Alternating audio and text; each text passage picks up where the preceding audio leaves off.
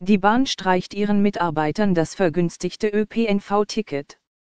Foto, Arno Burgi, Deutsche Presseagentur Seit den 1990er Jahren konnten Bahnangestellte in Berlin alles Bahnen und Busse besonders günstig nutzen. Die Rabatte werden nun weitgehend abgeschafft.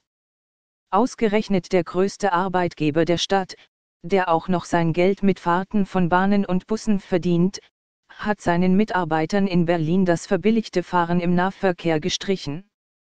Für rund 12.000 Mitarbeiter, auch ehemalige, die das Angebot bisher genutzt hatten, gibt es seit diesem Monat kein stark verbilligtes ÖPNV-Ticket mehr. Wie viele von ihnen nun aufs Auto umsteigen, kann nur geraten werden. Die bisherige ÖPNV-Karte war nach Angaben der Bahn einmalig in Deutschland.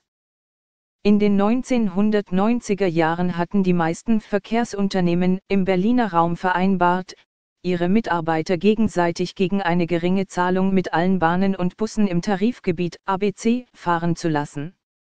In den vergangenen Jahren seien aber immer mehr Unternehmen aus der Vereinbarung ausgestiegen, heißt es bei der Bahn. Auch die BVG ist nicht mehr dabei.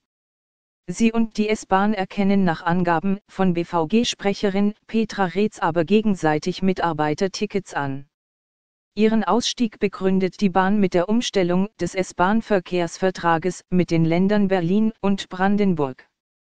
Statt mit Nettoverträgen, bei denen die Verkehrsunternehmen die Einnahmen aus dem Fahrscheinverkauf behielten, wird nun auf Bruttobasis abgerechnet.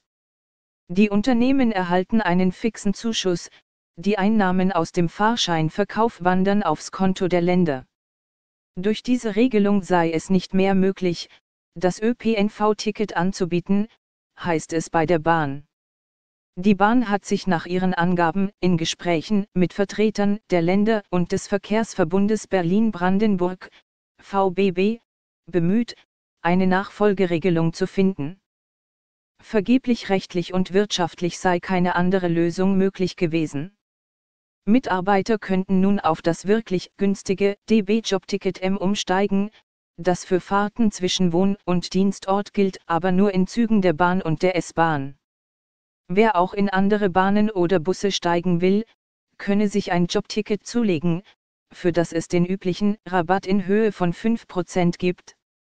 Und die Preise bleiben 2018 unverändert.